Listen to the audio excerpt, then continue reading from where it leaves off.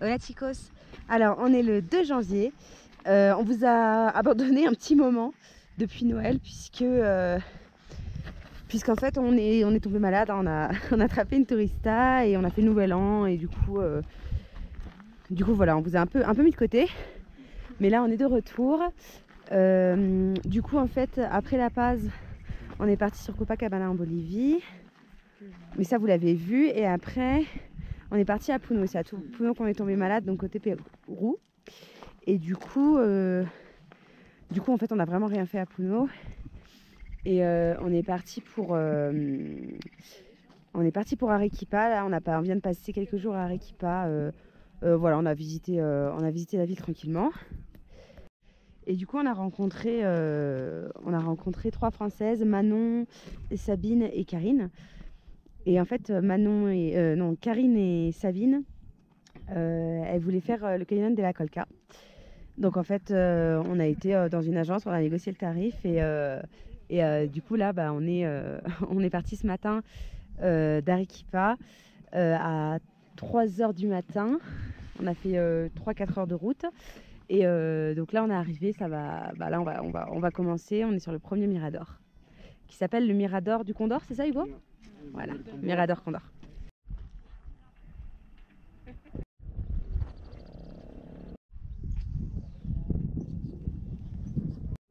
Bonjour à tous, ça y est, on est au checkpoint du canyon et on est parti pour 3 heures de marche. Alors, regardez, là ça va être que de la descente là pendant ces 3 heures avant le, petit dé- avant le déjeuner.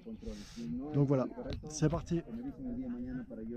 et notre première vision du canyon tout là-bas enfin c'est le fond du canyon évidemment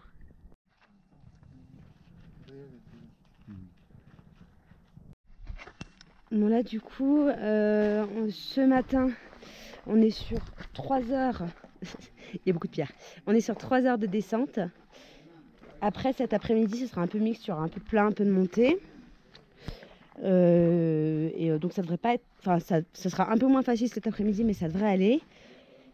Et après, c'est demain où en fait on fait que monter. Et euh, après, ça dure. C'est que 3 heures sur la journée, mais on fera que monter. Et euh, du coup, là, on... il nous reste, je crois, une heure et demie de marche euh, pour arriver à l'Almuerzo. Et, et après, en fait, on va continuer et, et apparemment, on pourra se baigner ce soir. Donc, c'est plutôt sympa pour se récompenser de cette journée de, de crapahutage.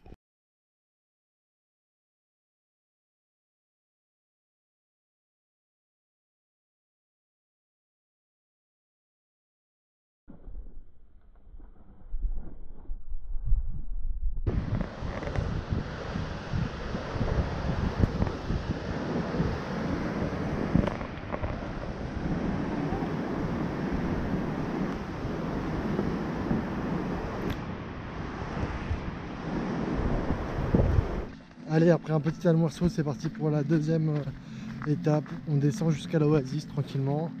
On serait là-bas d'ici 2-3 heures. Euh, c'est quand même plus tranquille que ce matin. Regardez, c'est plus, plat.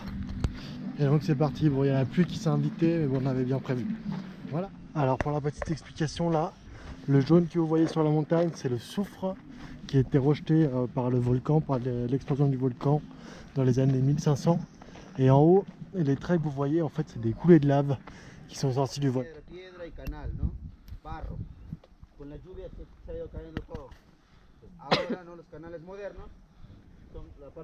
¿no? Allez Juju, un petit pont à toutes, euh, ça y est, on est bien arrivé, premier jour. Euh, après 7 heures de marche, on est arrivé dans un petit refuge plutôt. Euh, on est tombé sur la panne d'électricité causée par euh, la pluie. Mais bon là c'est bon, on va aller se coucher. Demain décollage au petit matin pour la montée, le retour en haut. On devrait être de retour tout en haut du Mirador vers 8h30. Bon, normalement c'est aussi la pluie, mais on va faire attention, on est équipé et voilà. À demain. Bye bye.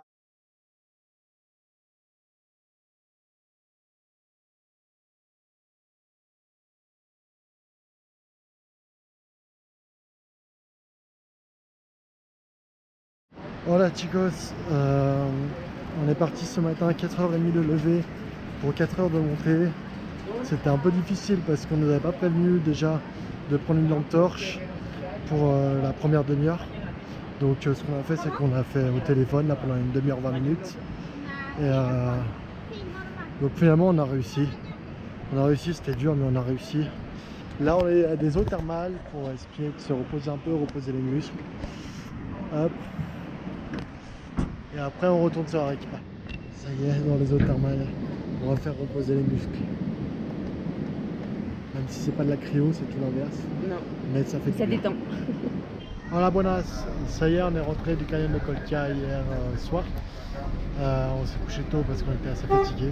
là, aujourd'hui, ça va être euh, visite de la ville. On a le couvent Santa Catarina. Euh, on va ici euh, visiter deux trois trucs. Il y a le musée du chocolat, etc. Pour. Et pour l'instant, elle est en train de faire réparer ses chaussures.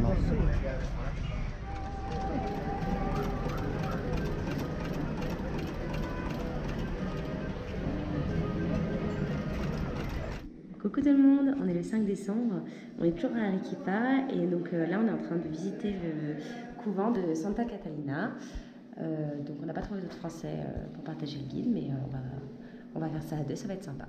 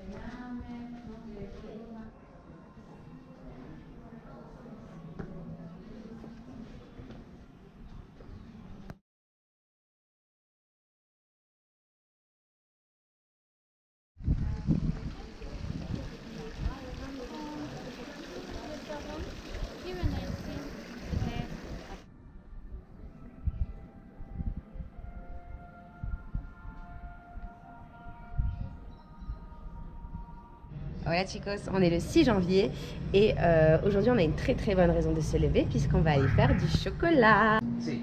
Quitas la semilla del jugo, Sí. la pones a fermentar. Ah, lo pones a secar, perdón. No, tiene 1% de manteca de cacao, si es que tiene algo. Muy bien. Esas empresas suelen cambiar sus recetas.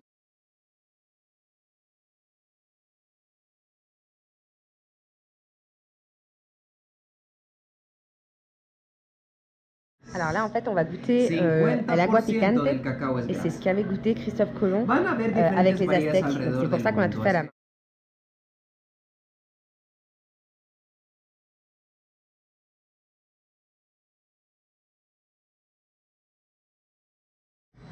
Allez, c'est parti pour la préparation du chocolat. Après avoir testé toutes les vertus de la fève de cacao, c'est parti. Tout est prêt.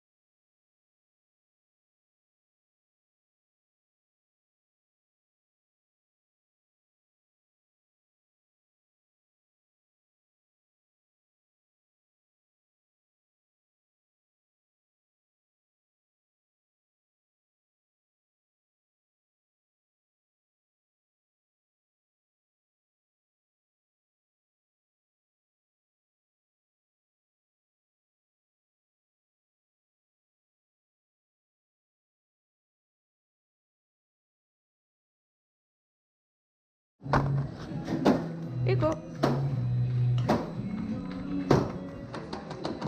¿Cómo no? Hello à toutes, ça y est, ça est terminé pour Arequipa. Euh, on en a profité pour bien se poser avant de partir euh, sur Cusco, rejoindre les parents de Juliette et euh, faire pas mal de trek et de rando euh, autour de Cusco, tout ce qui est Machu Picchu, Rainbow Mountains, etc. Donc c'est vrai qu'on s'est posé un peu, mais on a quand même bien profité. euh, on a beaucoup aimé la ville, qui nous a fait penser un petit peu à Sucre en Bolivie. Et donc euh, là, petit bus de nuit pour rejoindre Cusco. Ciao ciao